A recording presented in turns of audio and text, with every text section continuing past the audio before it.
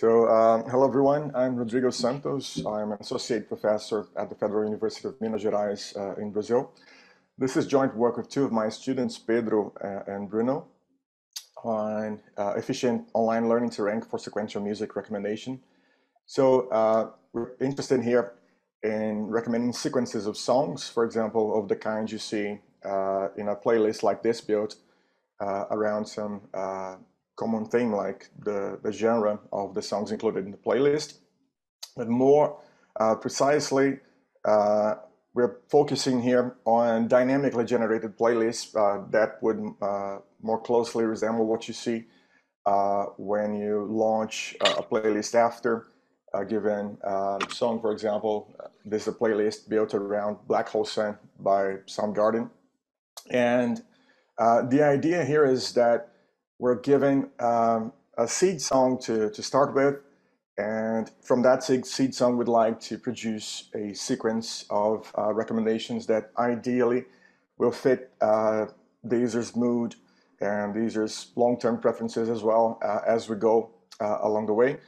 But um, different uh, perhaps from the previous presentations, we're uh, focusing again on a dynamic version of this setting where uh, things might go not as well as planned. Uh, for example, um, the user might not like some of the songs uh, recommended along the way and uh, he could skip one of the songs, for example.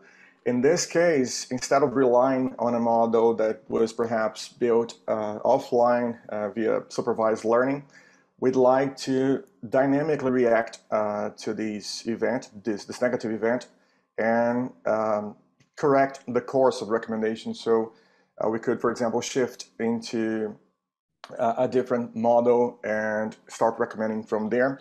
And of course, this can uh, repeat again throughout the, the session. And once again, we'd like to uh, react uh, immediately uh, if at all possible.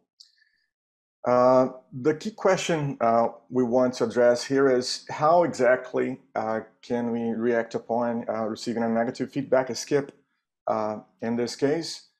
This work builds upon uh, previous work we published at RecSys 2019, uh, which was inspired by uh, the literature on online learning to rank for search. Back in 2019, we proposed counterfactual dueling bandits, um, which was essentially an adaptation of online learning to rank for the sequential recommendation of, of, of uh, songs in this case. The key idea behind this and other online learning to rank methods uh, is that we represent uh, both the model we're trying to optimize as well as the, the instances uh, we're ranking here, in this case, songs in the same uh, feature space. So just to illustrate, we have here a two-dimensional uh, feature space and our model depicted here in this dashed line. Um, we say that the model recommended that particular song uh, which got a skip, uh, but that song was, was chosen among a set of, of other songs um, that were available to the model uh, at the time. For example, top retrieved uh, songs for the user or top retrieved songs given the, the seed song as input. Uh, but the thing is, the model didn't do well. Uh, it got a skip. Um, and at this point, uh, what CDB does is it triggers uh, an optimization of the model. It triggers an update of the model. So uh, it does so via uh, exploration, so it explores the, the region around uh, the current model. There's a hyperparameter controlling how much we're going to explore uh, in the vicinity of the current model.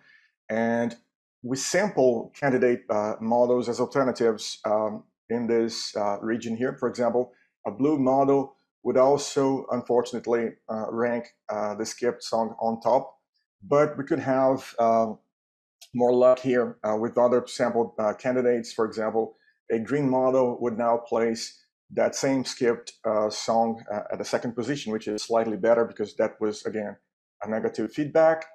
And perhaps a third model uh, in red here would place that skipped song at the bottom. Uh, so we have many candidates or many candidate directions to improve upon the current model. The key thing now is uh, how to exactly um, weight these different candidates so we can incorporate them back into the model. The way CDB does this, it, it somehow assesses the quality of each of these candidates based upon uh, the ranking um, performance, the ranking effectiveness of these models. Uh, but remember that we only have one uh, feedback available at this point in time, which is one song that got skipped. So we could say confidently that the first two candidate models are bad ones because they put the skipped song uh, on top of, of, their produced rankings. On the other hand, we could say that, um, well, perhaps the red model is a good one because it ranked uh, the skipped song down to the bottom uh, of the ranking. However, uh, we're not so sure about this uh, because we know nothing about what that model would actually uh, have placed uh, on top. Actually, we know what uh, it placed on top, but we don't know what the user would think of these uh, top recommended songs by the red model because the, the red model didn't get a chance to uh, show these songs to the user. Um, hence, uh, the counterfactual nature of the assessment of the quality of, of these models. but the way CDB incorporates these models back into the current model is it plays uh, safe essentially. It will not trust uh, the red model because although it seems to be doing well by placing uh, a known skipped uh, song at the bottom, um, we know nothing about what is actually recommended at the top. So we better play safe and uh, stick with what we know, which is that these two models here, the, the blue and the green model, are definitely bad ones. We have evidence uh, for that. So what CDB does is it ignores uh, the uncertainty uh, about the, the, third model and sticks with the two uh, bad models uh, it knows about. But then again, because these are bad models, bad directions in the search space, uh, the update will actually move the, the, current model in black here away from these two uh, directions. So because perhaps the blue direction is a bit worse than the green one, we'll move farther away from blue, then we move farther away uh, from, from green. So the resultant vector, uh, uh, after considering that, could be um, something like this. Uh, the, the black uh, model will be pushed a bit uh, more towards the, the green in the end. Okay, hopefully after updating the model for the next iteration, it will perform well and it will recommend a song that the user will like and will listen to. Uh, this all works great uh, in practice. It, has been shown to outperform uh, state-of-the-art contextual bandit approaches um, for recommendation uh, adapted to this uh, scenario, particularly considering scenarios with large um, catalogs. But there are two main shortcomings we identified and we built upon in the current paper here. The first one is related to the exploration phase of CDB. So essentially, uh, during uh, exploration, we come across some directions that we know are bad ones, like the, the blue uh, direction highlighted here. And the thing is, CDB does nothing about it for the subsequent iterations. It will uh, eventually um, sample the same bad direction again and, and again uh, and maybe it will get a chance to, to recommend uh, songs to the user. But the thing is, this is uh, inefficient in practice because uh, we keep doing more of the same thing that didn't work uh, previously. So uh, th this might lead, for example, to slow convergence, which will affect user experience along the way. To overcome this, we propose a null-space sampling approach inspired by recent work at SIGIR 2018 uh, the key idea here is that we'll keep track of bad performing directions along the way. Uh, so we keep a queue here with the AM uh, most recent uh, bad directions we identified. Then we pick uh, K um, among these directions, the, the, K worst among these directions, so we can focus on the, the very uh, bad directions um, to guide the exploration here. And lastly, we'll compute uh, the null space of the chosen directions, uh, meaning the space of directions, in this case, the direction in red here, which are orthogonal to all bad directions we've seen um, in the past. Essentially, what happens here is the uh, by, by, restricting the search space to the null space of bad performing uh, directions we saw in the past, we kind of provide a safer um, region for exploration here. And ideally, that will uh, make it more likely that we sample uh, good models uh, in, in, the subsequent iterations. Uh, the second problem uh, we address in this paper is about the exploitation phase of CDB, where we uh, aggregate what we learned from the candidate models to update the current model. One thing we noticed was that CDB ignores directions which are apparently good ones uh, because it doesn't trust them. And we claim that these might be worthy directions, directions worthy uh, pursuing, particularly since now uh, we were able to sample them from safer uh, subspaces. They may not be as likely to produce bad uh, sounds at the top, for example. And the other point we observed here is that regardless of whether we observe uh, bad or good directions along the way, these are indications of how good or how bad the current model itself is performing because bad and good directions are sampled in the vicinity of the current model. So there's valuable information about the momentum uh, the current model carries that we could explore. And uh, the way we do this, uh, this is the update equation for uh, the original CDB. As I uh, said before, it only updates the current model uh, WT minus one by moving against known bad directions, V in this case, by some learning rate or some exploitation rate, as we call it here. for our proposal, uh, we want to also allow for updates towards uh, potentially good directions. So uh, in addition to eventually moving away from bad directions, we also want to allow uh, movements towards uh, good directions. And on top of that, we want to uh, exploit the, the moment the current model is bringing to us by adding some further weight against it in the case of a bad direction or uh, for it in, in, the case of a good direction. Just to illustrate quickly uh, how this uh, thing works. So here we have a, a, candidate direction, which is a bad one in this case, and the current model WT minus one. Under normal circumstances, we would just compute the subtraction of these two vectors, and the resultant vector would move away uh, from that direction, uh, the bad one.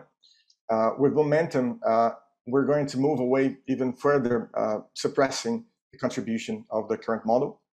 Conversely, for a good direction, we would normally uh, have a resultant through vector addition in this case. What we do now is we amplify the contribution of the current model in this case. Uh, so uh, in the end, what we propose is called null space counterfactual dueling bandits, NSCDB, and it's essentially an extension of the original CDB to improve um, efficiency of exploration through null space sampling and the efficiency of exploitation through adaptive updates, uh, bidirectional updates with momentum. And to evaluate the contribution, uh, we used uh, the Last.fm 1K dataset, uh, which comprises uh, over 11 million uh, listening events for around 770 users. And this was enriched with some additional data from Spotify and MusicBrainz. And we split this uh, sequences of events into six month uh, partitions in a sliding window uh, fashion. So essentially, we use a partition I to uh, extract features that will be used in the in the next uh, partition I plus one, and we used standard features uh, for the representation of songs here. I won't go into much detail about them, but it's the same features used for the original CDB and they're described in the paper. Uh, to evaluate the approaches, we uh, consider uh, as positive examples the actual plays uh, a user gave us during his listening uh, session. And we complement uh, this the, the, the, sequence of positive examples with negative examples sampled randomly from a set of top retrieved songs uh, somehow related to the user or the seed song uh, in the session. This is to um, ensure some unbiased uh, evaluation um, by randomization. And we actually consider two scenarios here. Uh, we select uh, a first part of the test instances for what we call online evaluation. This is to measure uh, the effectiveness of the model as it learns, how users react to the model while it is learning. And the second half of the um, data is, is reserved as a held out data set uh, so we can more accurately measure the, the convergence of the model in a fixed uh, test set. And we repeat the runs uh, multiple times and average results across users and partitions um, for uh, significance evaluation. So uh, just to go quickly through our main results here, uh, the first research question we address is whether we can improve exploration through the proposed uh, null space sampling approach. So we have on the y-axis here the online evaluation metric, which, which is essentially a cumulative sum of the plays we get uh, along the many iterations on the x-axis with some discount um, as we go uh, further uh, to the right. And uh, to, to assess the impact of the exploration component, we contrast NSCDB, which is our proposal using null space sampling, to several variants of CDB that do not use null space sampling. So we can directly see the impact of this component.